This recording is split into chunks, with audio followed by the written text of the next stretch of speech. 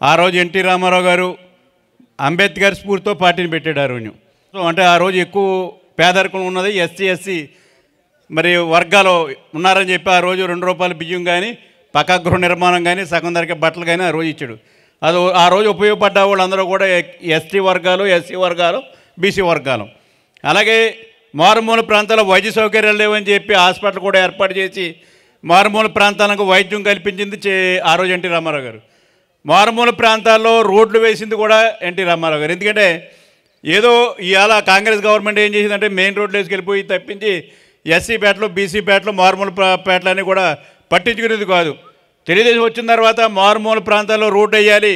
చంద్రబాబు నాయుడు గారు ఎన్టీ రామారావు గారిని మంచినీటి సౌకర్యం కల్పించాలి స్కూల్ భవనాలు కట్టించాలి కమ్యూనిటీలు కట్టించాలని ఆలోచన తీసుకొచ్చి అనేక అభివృద్ధి కార్యక్రమాలు పేటల్లో చేసింది చంద్రబాబు నాయుడు గారని చెప్పి మీకు తెలియజేస్తున్నాను.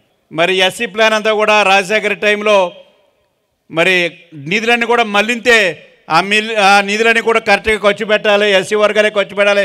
అవసరమైతే ఇంకా ఎక్కువ ఖర్చు పెట్టాలని చెప్పి మొన్న ఐదు సంవత్సరాలు కూడా పెద్ద ఎత్తున మరి ఎస్సీలకి నిధులు ఖర్చు పెట్టింది తెలుగుదేశం ప్రభుత్వం.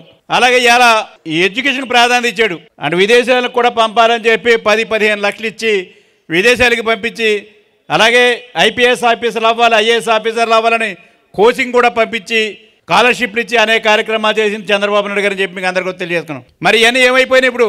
ఏదో ఇవన్నీ కూడా పక్కన పాడేసి ఓ పదిహేను వేలు అమ్మ ఒడి చెప్పి మరి ఎడ్యుకేషన్ పాడు చేసింది జగన్మోహన్ రెడ్డి గారు అని చెప్పి తెలియజేస్తున్నాను. ఎందుకంటే ఇవాళ స్కాలర్షిప్ లేవు. ఈరోజు మరి విదేశీ విద్య లేదు. ఇవన్నీ కూడా తీసి పాడేశాడు. నేను అమ్మఒడికి ఇస్తున్నానే డబ్బులు అని చెప్పేసి అది కూడా అరకొర ఇచ్చి ఇవాళ దాన్ని ఇవాళ ఏదో నేను చేశానని చెప్పుకునే పరిస్థితి జగన్మోహన్ రెడ్డి గారికి ఉంది. అలాగే ఎస్సీ వర్గాలకు వచ్చేటప్పటికి ఇవాళ ఇవాళ దాడులు జరుగుతున్నాయి విపరీతంగా దాడులు జరుగుతున్నాయి. ఎక్కడైనా ఒక ఇన్సిడెంట్ జరిగితే చంద్రబాబు నాయుడు గారి టైంలో మేము కానీ నేను హోంమంత్రిగా ఉన్నాను కనుక ఇమీడియట్గా స్పందించి సీరియస్గా తీసుకుని ఇమీడియట్గా అరెస్ట్ చేసి లో- లోన్ పెట్టేవాళ్ళం. ఈరోజు ఎక్కడ కూడా ఏం జరిగినా పట్టించుకోని పరిస్థితి. మీకు తెలుసు ఇప్పటికే చాలామంది డాక్టర్ కానీ ఎస్సీ రాజమండ్రిలో ఒక యువకుడు కానీ ప్రసాద్ కానీ ఇంకా చాలా చాలామంది మరి ఇవాళ జగన్మోహన్ రెడ్డి గారు పాలసీకి బలైపోయారు అలాగే పోలీసులు కూడా అత్యుత్సాహంతో అన్ని వర్గాలను అనగదొక్కారు. ఇలా డీజీపీ కూడా ఇంటికి పోయాడు ఇవాళ. మళ్ళీ ఇంకో పదవి వచ్చిందండి. ఇప్పుడు ఈ పదవి పోయినా ఆ పదవి వచ్చింది. ఎందుకంటే ఇలా ముఖ్యమంత్రి గారికి మరి ఆయన ఏం చెప్తే అదే చేశాడు. ముఖ్యమంత్రి గారు చెప్పిన పనులన్నీ ఎదవ పనులన్నీ కూడా ఇలా పోలీసులు డీజీపీ చేత చేయించాడు అని చెప్పి మీకు తెలియజేస్తున్నాను.